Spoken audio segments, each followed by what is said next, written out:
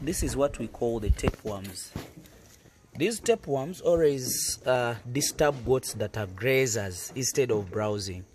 And uh, most of the time, they become very persistent if um, if your goats are grazing instead of browsing. So what you do, that is uh, that is tape. That is the tape, and that's how it looks. So uh, basically, what you're supposed to do, if your goats are grazing, what do I mean by grazing? If your land has no shrubs and they are eating like cows on the ground, you have to make sure that you at least deworm every after two months. You have to redeworm. Uh, you can use mostly for me I use Levafas Diamond and they get diarrhea then it smashes them off.